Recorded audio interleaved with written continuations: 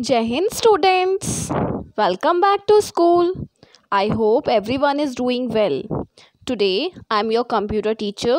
As you all know that my name is Miss Kanupriya Arora. Okay, so today I am going to announce three name, another name which I have selected from my last video. Uh, the first name is Dhruv Rathore, second is Arushi Bohra, third is Arnesh Ghosh. Okay students, let's start our today's topic that is classification of computers.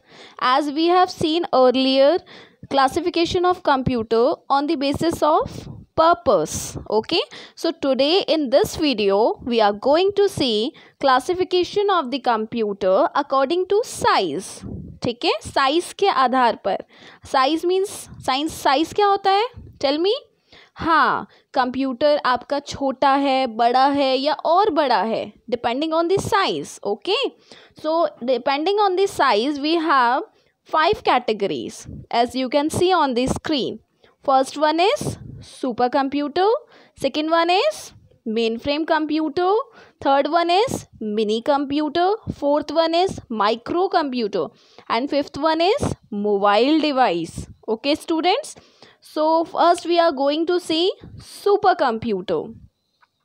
So, my dear students super computer सबसे बड़ा computer होता है, सबसे बड़ा। बड़ा in the sense एक room size का होता है। एक रूम जितना बड़ा होता है, उतना सुपर कंप्यूटर होता है। और बहुत ही पावरफुल होता है। मतलब इसमें फॉर एग्ज़ाम्पल हमारे घर में जो कंप्यूटर होता है, अगर वो ट्वेंटी ईयर्स काम करेगा तो वो इक्वल टू एक सुपर कंप्यूटर का काम कर पाएगा। इमेजिन बीस साल तक वो काम करेगा। उसका इक्वल क्या है? सुपर कंप्यूटर ओके अच्छा सुपर नाम से आप क्या समझ रहे हो? क्या आपको याद है? कुछ याद आया? Super super hero superman yes movies आप लोग देखते होंगे? Yes so super hero movies में सबसे मेन क्या होता है? क्या क्या होता है? सुपर मूवीज़ बनाने में कॉस्टली होता है। कॉस्टली होती किसी भी हम सुपर हीरो की या मूवीज़ बनाएँ, सबसे पहले क्या होता है? ये सब, बहुत ज़्यादा एक्सपेंसिव होता है।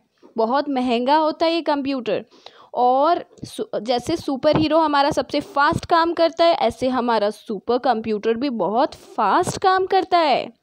ओके माय स्टूडेंट्स यस और इसका साइज़ भी बहुत बड़ा होता है ऐसा हैव टोल्ड यू और ये मल्टीपर्पज़ काम करता है मतलब एक टाइम पे बहुत सारे काम करता है. इसमें जो काम होता है, वो पैरेलली होता है. पैरेलली मतलब एक टाइम पे बहुत सारे काम में वो स्पीड में काम करके आपको देता है. ओके? एंड ये कॉम्प्लेक्स कैलकुलेशन भी बहुत अच्छी स्पीड में सॉल्व कर देता है। कॉम्प्लेक्स मतलब टफ से टफ जो आपको इजी नहीं लगती, जो सबसे ज़्यादा आपको एकदम से बड़ी सी प्रॉब्लम्स लगती हैं, वो ये इजीली सॉल्व कर देता है और बहुत हाई स्पीड में।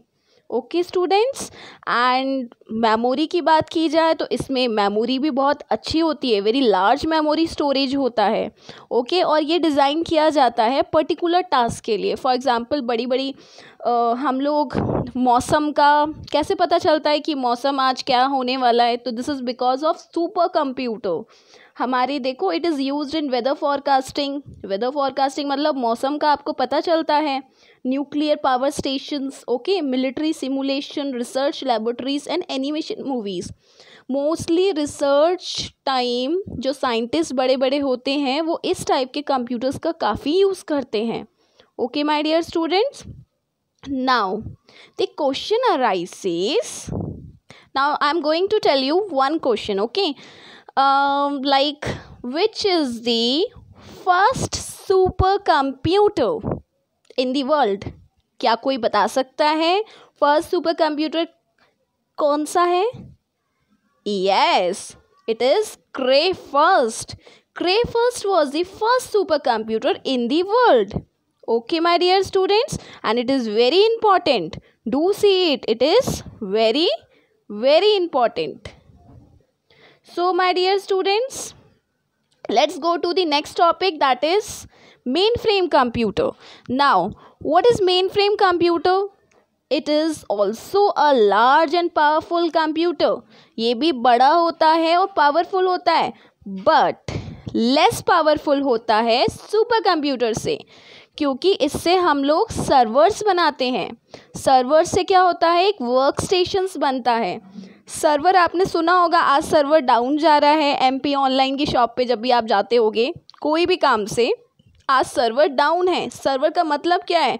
सारे कंप्यूटर्स एक कंप्यूटर से कनेक्ट होता है, वो मेन उसमें डेटा कलेक्ट होता है, वहीं से डेटा रिट्राइव होता है, उसे हम बोलते हैं server okay my dear students so it is use as a server work station जहाँ पे बहुत सारे लोग कनेक्टेड होते हैं। ये भी बड़ा होता है बिग होता है बट सुपर कंप्यूटर के as comparison to super computer ये छोटा ही होता है ओके एंड ये भी काफ़ी महँगा होता है बट सुपर कंप्यूटर से ज़्यादा नहीं है। इसको डेवलप किया था आईबीएम ने।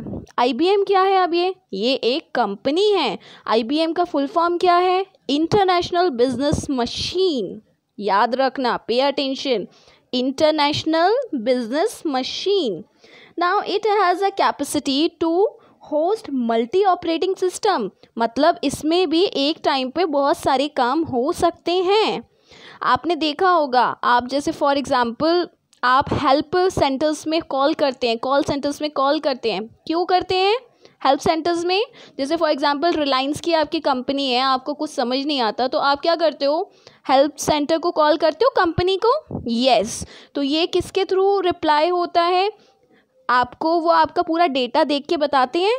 यस yes, पूरा डेटा देखते हैं। Yes so it is because of this type of computer that is main frame computer it also has large memory storage okay my dear students now the it is used in mathematical operations means बड़ी बड़ी जो operations होती हैं calculations होती हैं ये उसके लिए भी use किया जाता है scientific research के लिए भी use किया जाता है अब पहला main frame computer कौन सा है कोई बता सकता है it is univac u n i v a c